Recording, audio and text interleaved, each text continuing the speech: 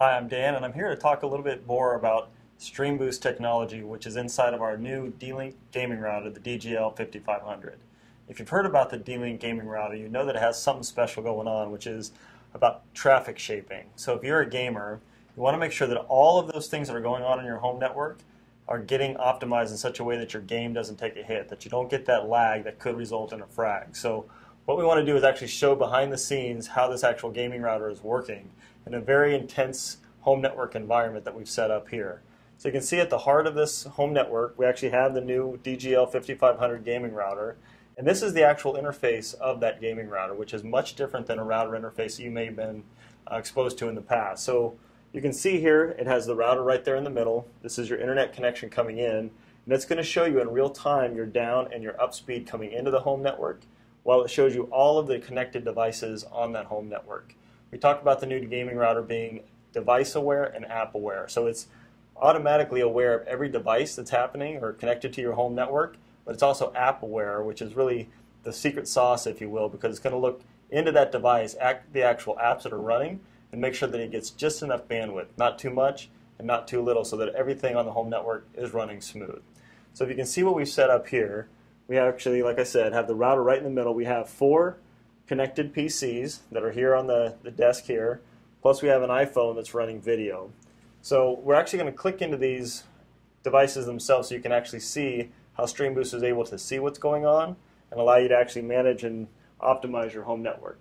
So if you actually click on the router itself, you'll get the same type of a screen where you're actually now seeing all of your devices on the left hand and again it's showing you your up and down speed as well as your overall up and down speed for the network whereas this is device specific.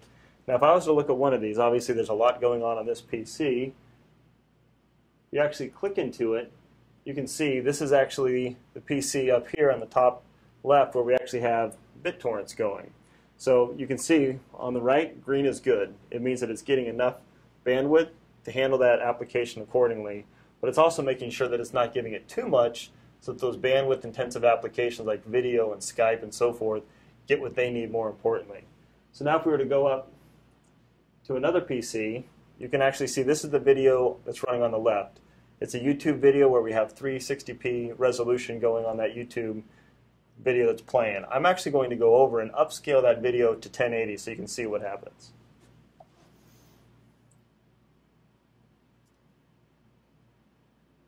As, as I now click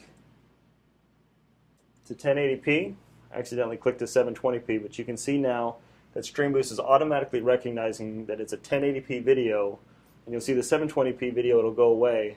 And so now it's allocating more bandwidth to that PC because it now knows that it's a higher resolution video, meaning it needs more bandwidth.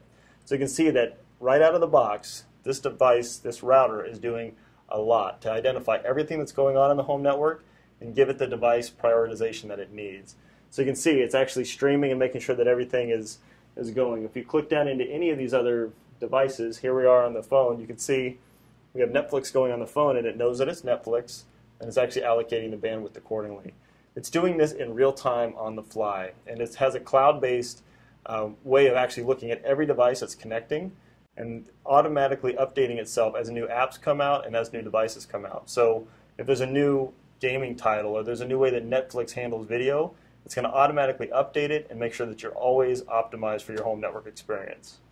And you can see, more importantly than anything else that's going on here, is the game up in the top right. And you can see it has a very low ping. Here we're looking at 20.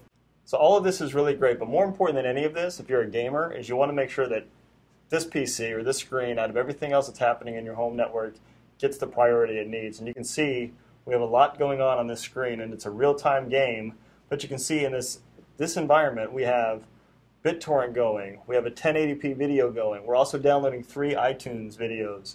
We have a phone that's streaming Netflix.